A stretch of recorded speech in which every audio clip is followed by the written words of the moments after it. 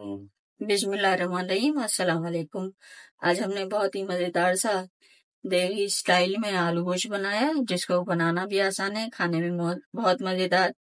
हर घर में आलू गोश्त बनता है, लेकिन डिफरेंट जायके का होता है। आप मेरे तरीके से बनाइएगा, इंशाल्लाह आपको पसंद आएगा। दो अदद प्याज ली, इनको फ्राई करके निकाल लिया। है, मेरे पास ये आधा किलो गोश्त है।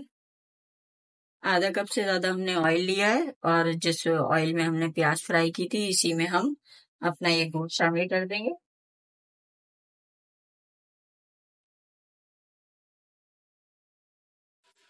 गोश्त के साथ ही हम इसमें तेजपात, दो छोटी इलायची, दो बड़ी इलायची और सात से आठ काली मिर्च है, दो तीन लौंगे हैं, दालचीनी का टुकड़ा है, ये शामिल कर देंगे।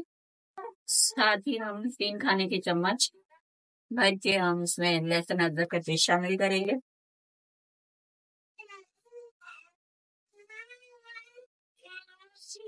लहसुन अदरक का कच्चा दूर होने तक हम इसको फ्राई करेंगे।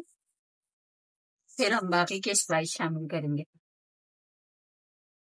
वन टी स्पून हम इसमें सॉल्ट शामिल करेंगे। बाउलिया हमने छोटा एक से डेढ़ खाने के चम्मच जितना आपके घर में स्पाइस खाया जाता है उतना मिर्च शामिल करें तो टेबल स्पून मैं कितना शामिल कर रही हूँ।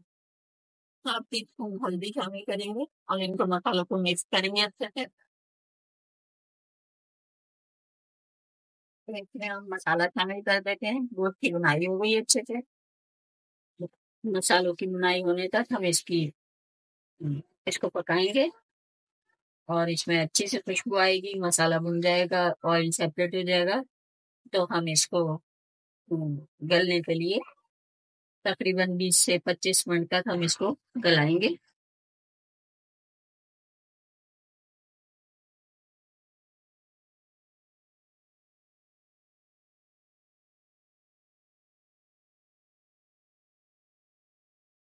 रोटी अच्छे से बनाई गई है। अब इसमें हम गोश्त को गलाने के लिए पानी शामिल कर देंगे। जब तक हमारा गोश्त गलेगा, तब इसमें प्याज, टमाटर और दही, जीरा और जायफल, जवत्री का थोड़ा सा पाउडर शामिल करेंगे, वो हम बाद में करेंगे। अब मेरी वीडियो को पूरा देखिएगा। गोश्त हमारा अच्छे से भुन गया, जैसे कि नज़र आ रहा है, बहुत ही खुश शक्ल ये सालन तैयार हो रहा है। और अब इस स्टेज पर हम इसमें दो टमाटर की प्यूरी शामिल करेंगे। प्याज ब्राउन की वो शामिल की है ब्लेंडर में और ये जायफल जवत्री है। थोड़ी सी हाफ़ टी स्पून के करीब ये शामिल करेंगे। एक कप के करीब हमारे पास दही है, ये भी शामिल कर देंगे। और इसी के साथ हम वन टीस्पून जीरा शामिल करेंगे, क्योंकि जीरा अभी तक हमने नहीं डाला था। अब इसको ब्लेंड कर लेंगे और अपने सालन में शामिल करेंगे। अब इसमें हम प्याज, दही, ये मसाले शामिल कर देंगे। टमाटर का पेस्ट बनाया है।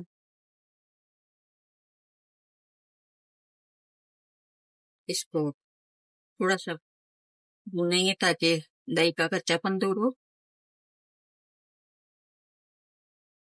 हमने मसाले को पाँच मिनट तक पका लिया है। और इसमें से बहुत ही अच्छी खुशबू आ रही है। इसका कलर देख सकते हैं आप, बहुत ही खूबसूरत है। और आप मेरी रेसिपी को इसी तरह से फॉलो कीजिएगा। अब इसी स्टेज पे हम इसमें आलू शामिल कर देंगे। ताकि आलू भी थोड़े से मसालों के साथ बन जाए।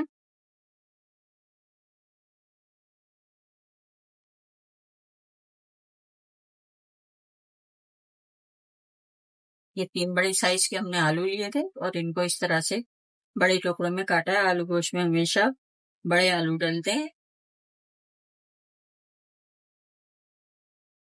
आलू गलाने के लिए हम उसको पाँच मिनट प्रेशर कुक कर लेंगे और इसमें जितना हमको शोरबा रखना होगा, कम रखना हो, ज़्यादा रखना हो, उसी हिसाब से पानी डालेंगे। एक कप हम इसमें पानी शामिल करेंगे ताकि हमें ज़्यादा हमें ज़्यादा शोरबा नहीं रखना।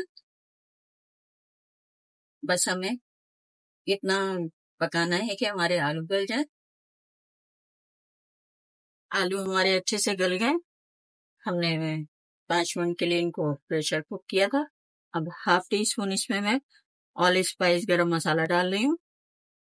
और बस हमें इसको ज़्यादा पकाना नहीं है, वरना हमारे शोरबे का कलर काला भी हो जाएगा। और इसी स्टेज पे हम इसमें हरा धनिया इसमें बहुत अच्छा लगता है। हम इसमें थोड़ा हरा धनिया डालेंगे और हमारा ये मज़ेदार सा आलू गोश्त तैयार है।